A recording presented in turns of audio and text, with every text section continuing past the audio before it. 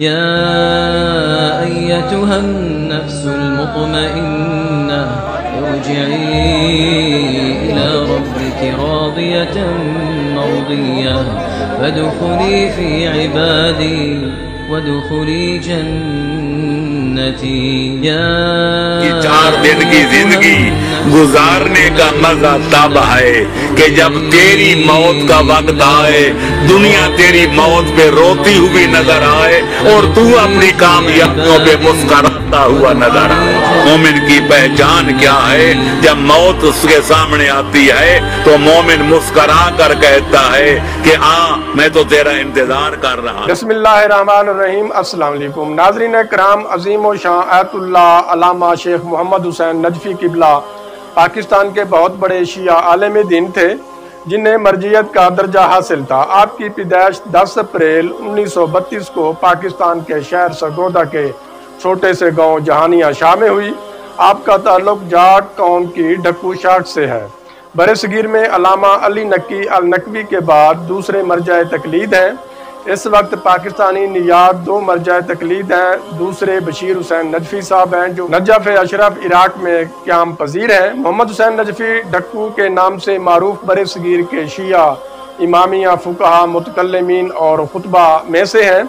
आपने इल्म कलाम, इल्म फ़िका तारीख़ और तफसीर जैसे मुख्तलिफ़ अलूम में कलम फरसई की है, जिसमें इसबातुलमामिया एहसन अलफ़वैद फ़ी शराक़ैद असूल शरिया फ़ी अक़ैद शिया, तफसीर फैज़ानरहमान सदतुलदारैन वसाइल शिया का उर्दू तर्जमा। आपकी मशहूर तसानीफ में से हैं आप मासूमीन अलैहिस्सलाम की विलायत तकमीनी के नज़रिए के कैल नहीं थे।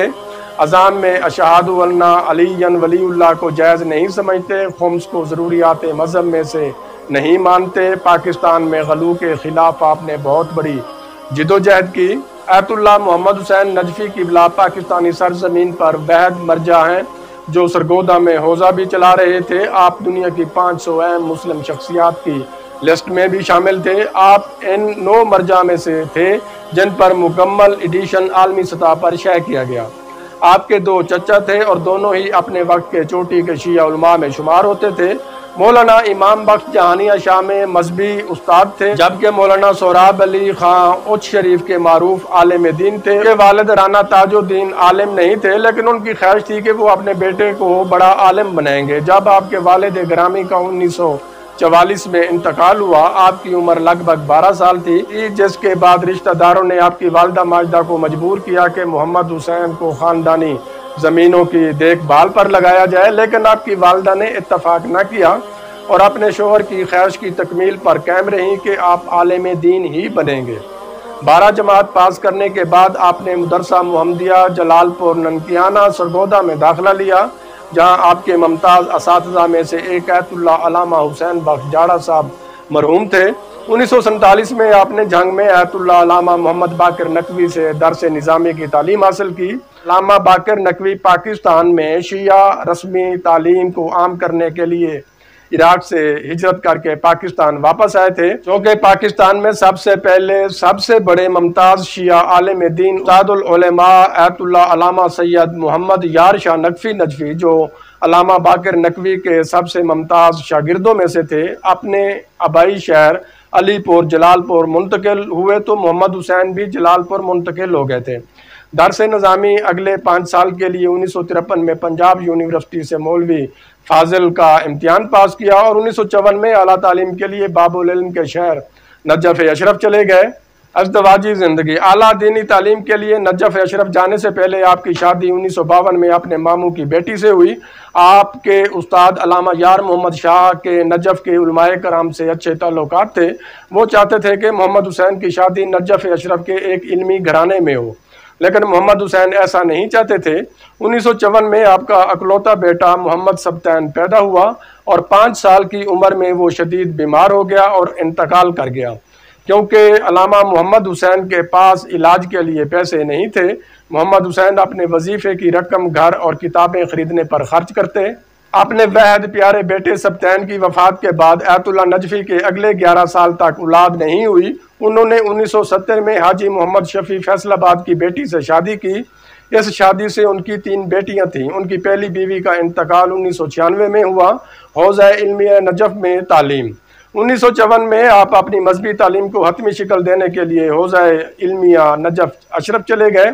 ईरान के हौजा इलमिया को इंटरव्यू देते हुए आपने बताया कि नजफ अशरफ में मेरा क्या मुख्तर था? मैंने अपनी तालीम छः साल में मुकम्मल की।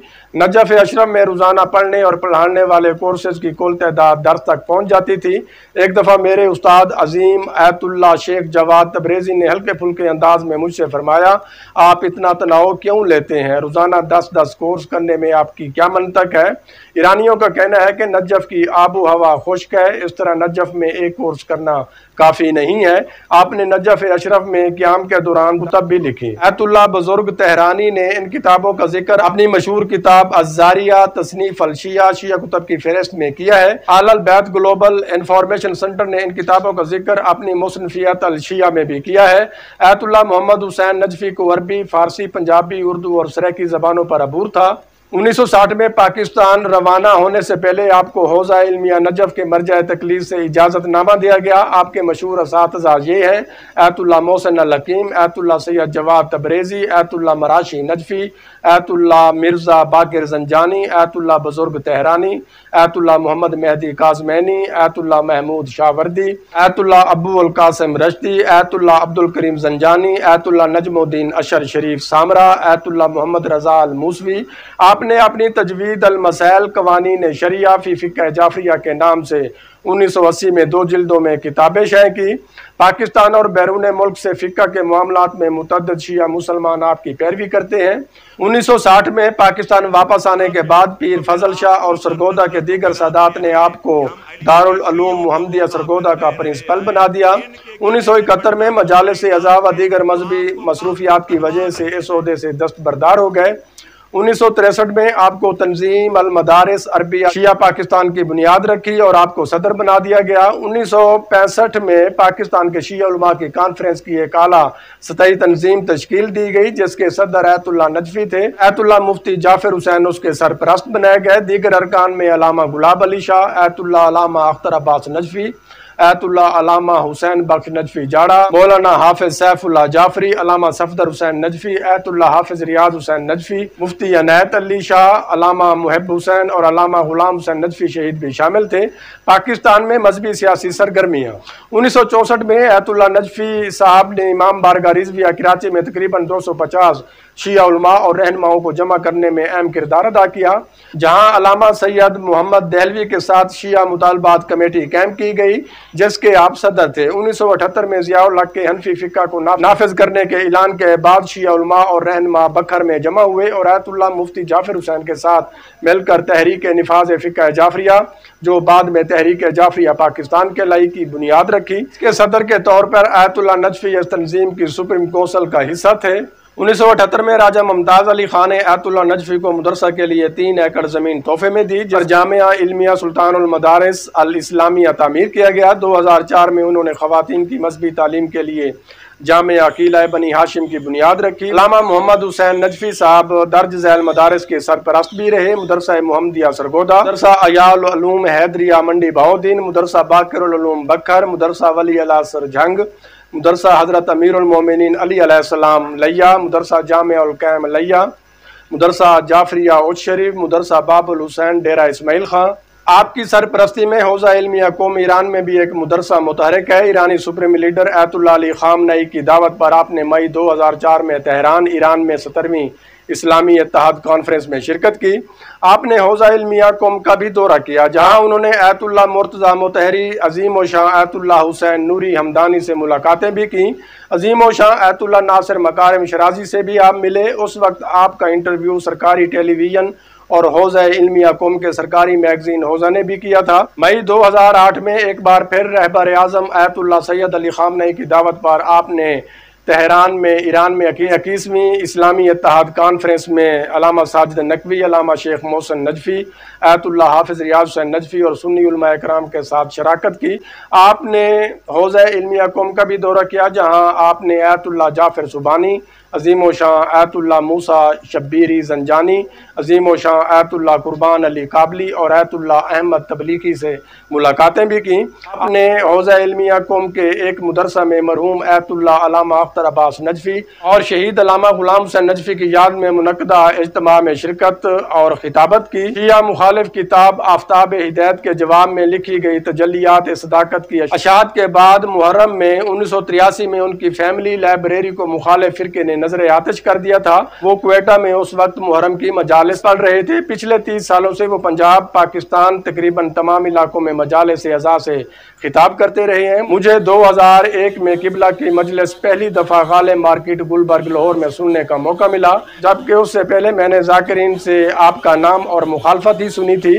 पिछले कई सालों से वो इमाम बारगा शाहगरदेज मुल्तान में मजालस अजा से भी खिताब करते रहे हैं। आप कई सालों से इस्लामाबाद और बर्मिंगम, इंग्लैंड में मुहर्रम के बाद की मजालस से भी खिताब करते रहे हैं। आप बाज़ मकाम पर मजालस के बाद फ़िक्का, अकीदा और फ़िकई शरय मसाइल के सवाल के जवाब भी देते थे। आपके नज़रियात व अख्तलाफ़ात आप खुम्स को ज़रूरियात मज़हब नहीं समझते हैं और खुम्स देने के लिए मरज तकलीद की इजाज़त को भी लाजमी नहीं समझते थे। इसके लिए ये ज़रूरी है कि इंसान को सहम इमाम के मसरफ में इमाम ज़माना की रजामंदी का यकीन हो। आप अजान और अकामत में अशाद वली पढ़ने को भी जायज़ नहीं समझते थे, जबकि हैला खैरमल को अजान का जो समझते थे। आज़ादारी में जंजीर जनी और कुमा जनी को जायज़ नहीं आयमा अलैहिस्सलाम के लिए विलायत तकवीनी के भी मुखालिफ थे। आप इल्म गैब को अल्लाह ताला से मखसूस समझते हैं और अम्बिया के इल्म को इल्म गैब नहीं समझते थे।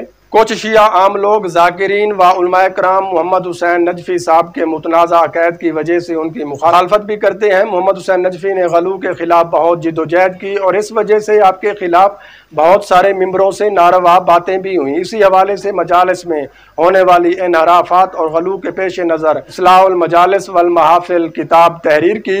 रसूम भी इसी सिलसिले की एक कड़ी थी, जिसकी तालीफ के बाद आपको बहुत से एतराज़ा का सामना हुआ। इन बातों का ज़िक्र आपने अपनी मुस्तनद किताब सादतुलदारैन के इब्तदाई सफ़ात में भी किया है। आपकी तसानीफ। आपने तकरीबन पच्चीस से ज़्यादा किताबें लिखी और तर्जमा की, जिनमें चंद अहम की तफसील ये है। फैजान रहमान फ़ी तफसीर अल कुरान, ये दस जिल्दों पर मुश्तमिल जाम तफसीर कुरान है। हदीसों की शिया किताब वसैल अल शिया का उर्दू तर्जमा भी किया, जिसकी बीस जिल्दें हैं, जिनमें तेरह शाये हो चुकी हैं। एहसन अलफ़वैद फ़ी शरा अलक़ैद ये शेख सदूक के मशहूर रसाला अलक़ैद का दो जिल्दों का तर्जमा और तफसीर है। इसमें तमाम शिया अकैद और उनकी सदाकत कुरान और हदीस की रोशनी में मौजूद है। असूल शरिया फ़ी अकैद शिया, इस किताब में गालियों, तफवीज़ियों और शेखियों के अकैद जो उन्होंने शिया इस्लाम के नाम पर फैलाए हैं, पर बहस की गई है और कुरान और हदीस की रोशनी में उनकी नफ़ी की गई है। इतकादात इमामिया का उर्दू तर्जमा और तफसीर की अकवानी ने शरिया फ़िक जाफरिया तोज़ी अलमसैल ये दो जिल्दों पर मुश्तमिल फ़िकी किताब है। खुलासतुलहकाम ये कवानीन अलशरिया का एक मुख्तर नुस्खा है। हरमत गना और इस्लाम, इस किताब में इस्लामी शरीयत में गना की हरमत पर बहस की गई है। हरमत रिश्त राशि इस किताब में इस्लामी शरीयत में दाढ़ी मुंडवाने की हरमत पर बहस की गई है नमाज़ जुमा और इस्लाम। ये एक किताब है, जिससे साबित होता है कि इमाम मेहदी की गैबत में भी नमाज़ जुमा वाजिब है। इसे सैयद मोहम्मद दहलवी ने कराची से शेयर किया। अकद जुमा मफाती जनान का तर्जमा, ऐतुल्ला नजफ़ी ने अपने क्याम नजफ़ के दौरान मफाती जनान का तर्जमा किया, लेकिन इसे शाये नहीं किया, क्योंकि दूसरा तर्जमा लाहौर से शाये हो चुका था। सदतुलदारैन फ़ी मकतल हुसैन, ये किताब इकसठ हिजरी की जंग करबला और हुसैन इबन अली की अलमनाक शहादत का एक जाम बयान है। ये सब वाक़ात सिर्फ़ मोतबर ज़रा से नकल किए गए हैं। तजलियात सदाकत फ़ी जवाब आफ्ताब हिदायत। ये दो जिल्दों पर मुश्तमिल किताब जो मौलवी करम दीन की शिया मुखालिफ किताब आफ्ताब हिदायत के जवाब में लिखी गई।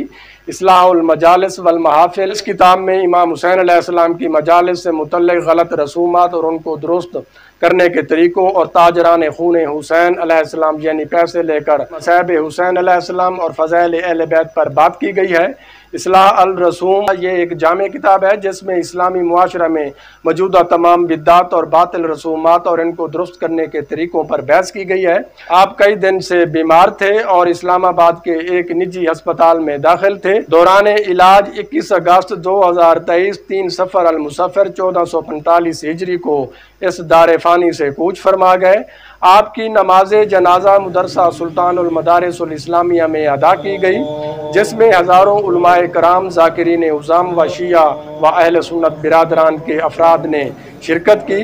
आपको आहों और सिस्कियों के साथ पाकिस्तान के शहर सरगोदा में सपुरद खाक कर दिया गया। इन्ना व इन्ना इलाह राजून